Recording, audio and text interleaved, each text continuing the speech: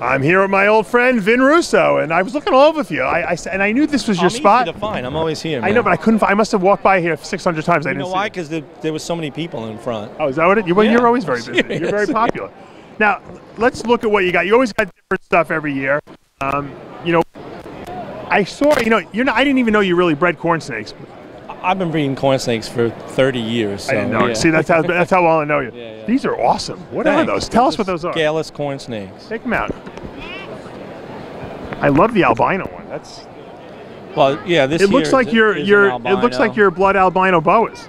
Same color. Uh, red, red is very popular, so I try to make things as red as I can. But they actually look like. I mean, if if you They look like candy. Yeah, that's Like, pretty uh, awesome. Like taffy or something. Now, yeah. you know, with the scaleless ball pythons, they say that they have trouble shedding. Is, is there any similar things with the uh, corn snakes? No, you know what? They have trouble shedding if you keep them too dry.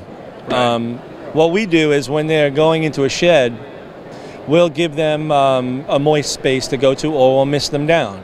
Like, would you use sphagnum moss or something You like could use sphagnum moss, sure, yeah. But usually we, we just mist them down so that they're a little more moist for those few days, and then they shed and they're fine. So so there's no other special care necessary. there literally is no other special care, and they breed and feed just like any other corn snake.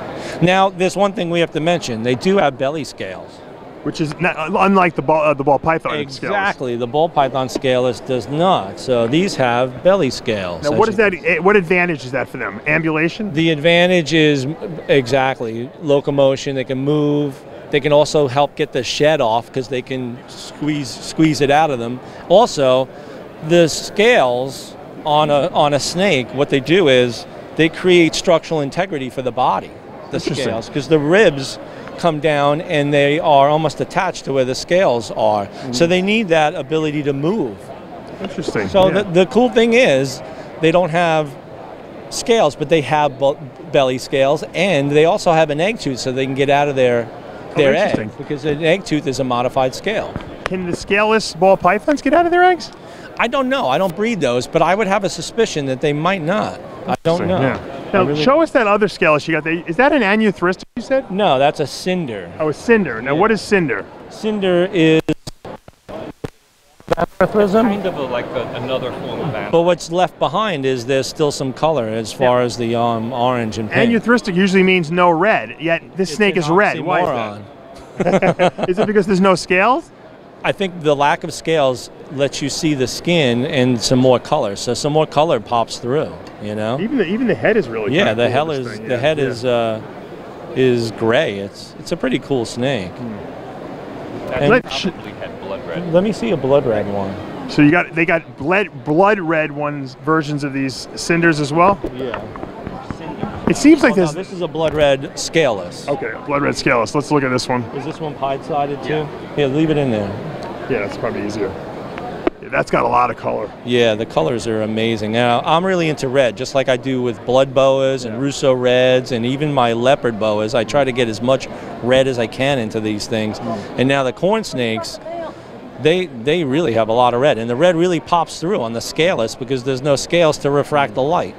Now, I know you love the leopards because of the reds in them, and, and you really don't appreciate the reds in the leopard unless you put the hypo gene or you put the albino gene. I saw you have some albino leopards there. Maybe you could pull one out. Those are just, I love those. I almost like those better than the blood albinos, to be honest with you. The, yeah, the albino is a great trait because it, it pulls out a lot of orange. You get like a creamsicle color look. You know what I mean?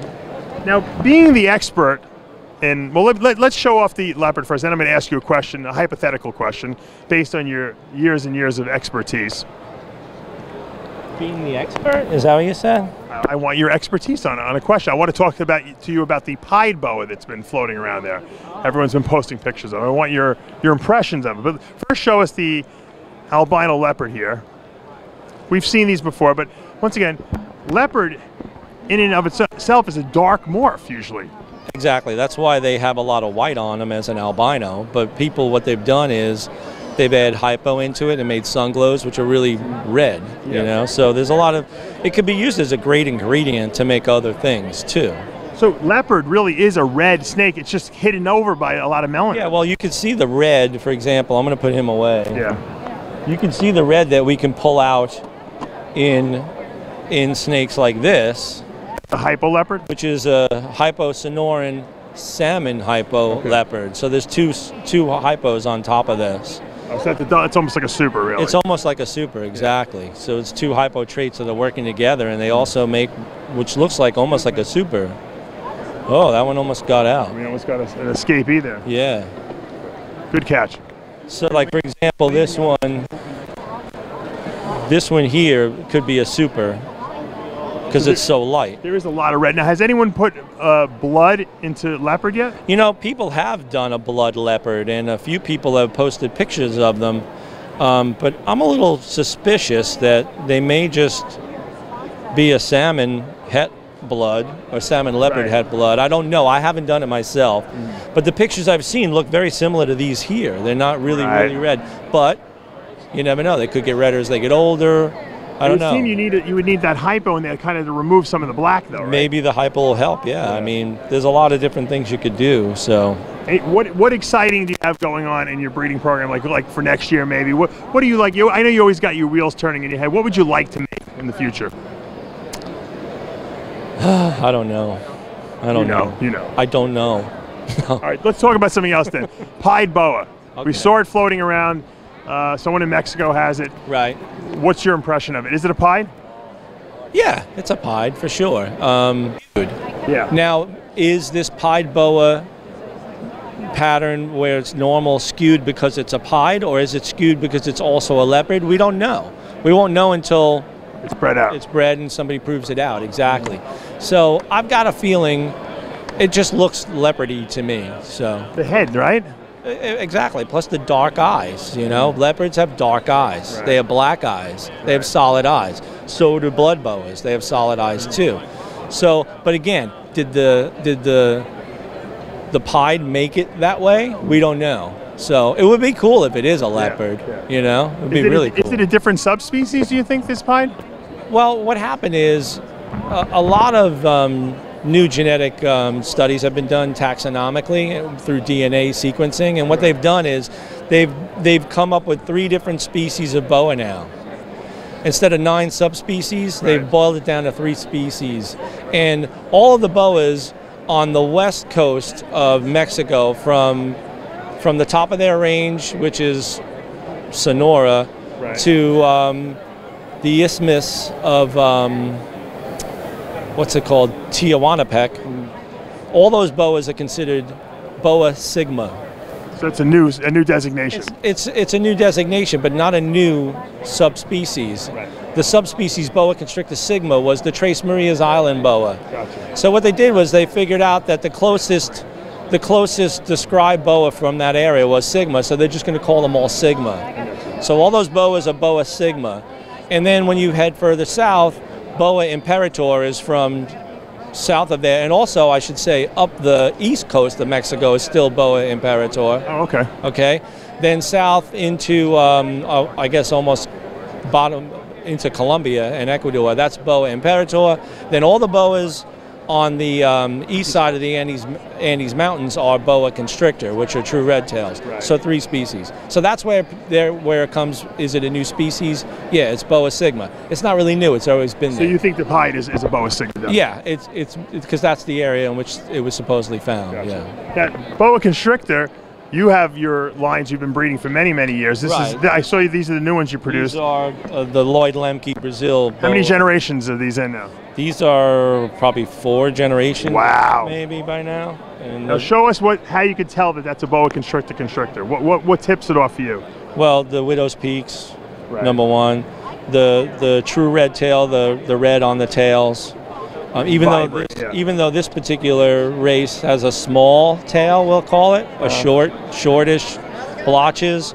Um, it's constrictor constrictor and also the the big blocky head and they're born bigger they're also a lot of people don't realize this but if you took a section out of these and looked at it it's shaped like a loaf of bread it's not shaped like a sausage Interesting. Okay, yeah. I didn't even realize that. Yeah. so to see how they're taller they have like height to them yes. so constrictor constrictor has that height and now they're deemed a new species so well they're a species not a subspecies And I know you you're a big believer that these things don't breed or young. They definitely don't. The females on these um, The first time I ever bred these, the females were seven, eight years old. So It's pretty significant. it is, and they're not giant snakes either. Seven feet is a, a pretty. a pretty People always thought they were bigger than the the Imperators, but they're not. Well, they can be, and, and, the, and the other thing with size is people are comparing Colombian, pure Colombian Imperator, which get big because they have some some constrictor in their family Oh, they do. Oh, so it's about yeah, yeah. It's, Because it's a little hybridization. closer to the constrictor, you know, race of snakes. So, the, you know, the true Colombian imperators do get pretty big. I've seen some seven, eight feet. You know, this is not not tiny, but they're big. Well, Vin, you got some great snakes. Uh, good luck this weekend with all your breeding. It's, it's great seeing you, of course. Trying to get you down to. Florida. Thanks. We yeah. move Maybe down here. one day I'll be down here. Uh, You might be my neighbor. You never know. I don't know too many people down here. That's right. My pleasure. That would be full circle in our lives, Right, right? it from would be, from right. teenagers to uh, old men. Right. As my father say, you moved to Florida to die. He said, well, Dad, we're getting you down here because you don't got much longer. You know what a friend of mine says? He says, sooner or later, Vin, we're just old men in funny clothes. That's right.